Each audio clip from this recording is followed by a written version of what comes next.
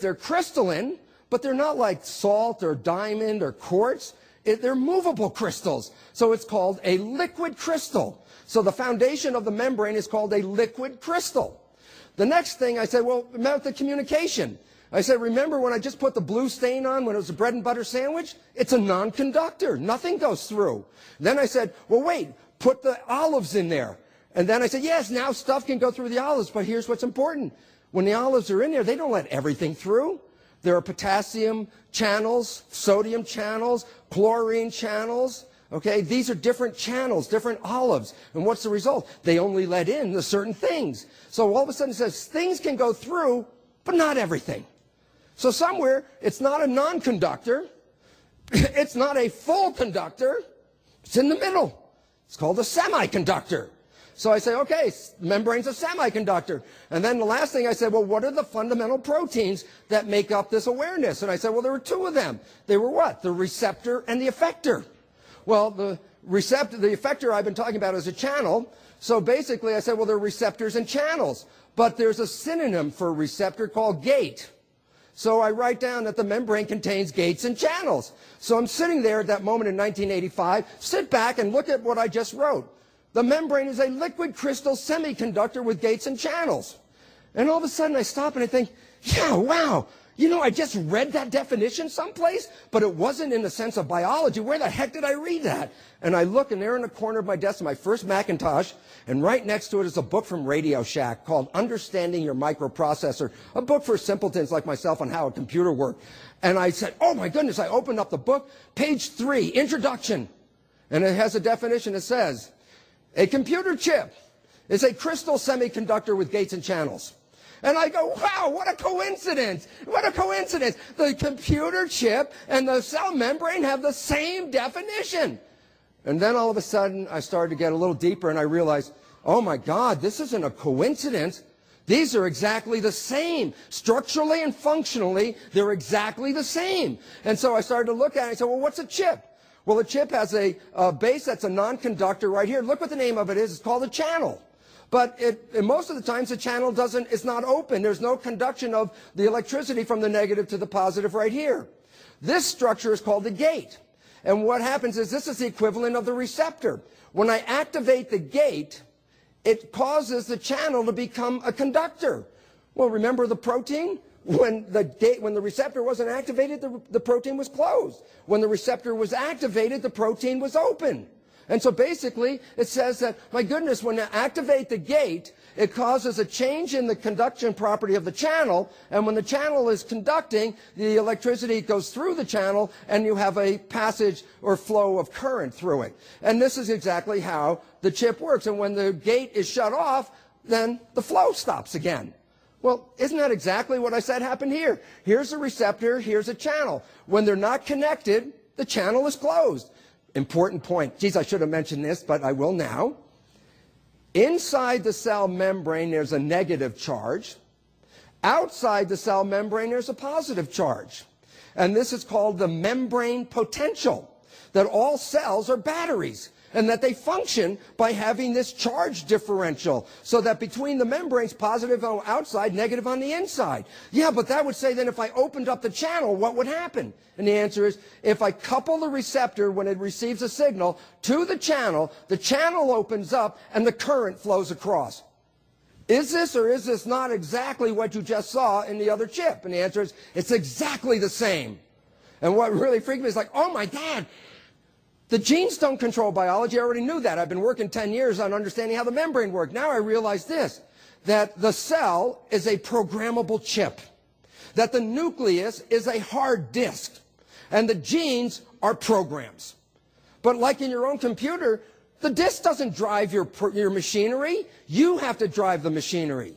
And so basically the membrane is the interface where the environmental signals, when typed on the surface of the cell, engage the functions out of the hard drive.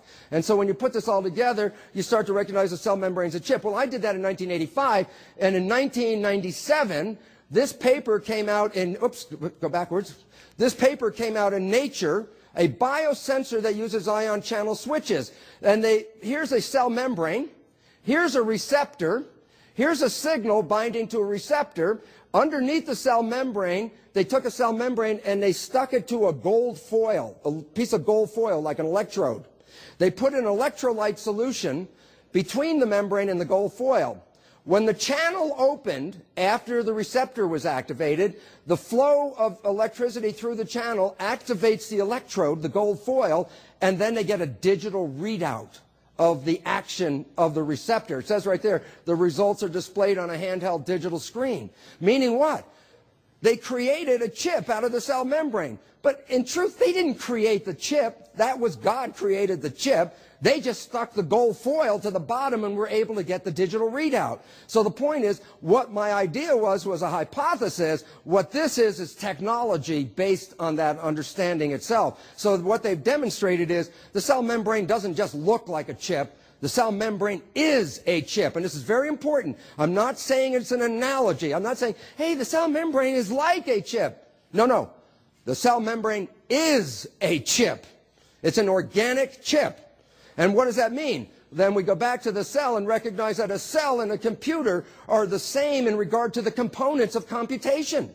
That this is an organic, this, oops, go back. This is an organic chip on the right, and this is a silicon chip, uh, carbon chip, silicon chip, okay?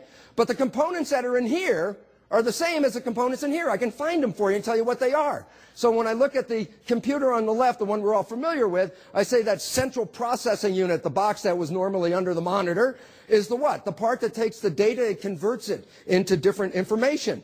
Yeah, that part is, is the cell membrane. The cell membrane picks up environmental data, light, sound, smell, uh, glucose molecules, estrogen molecules, whatever that is, and converts it into biological awareness. So the membrane is the central processor.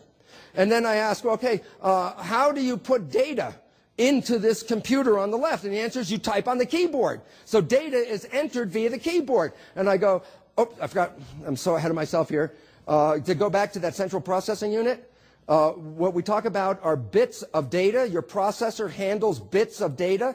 A bit, by its definition in the electrical engineering, is an I slash O. I means input slash output. A unit that has input output is a bit.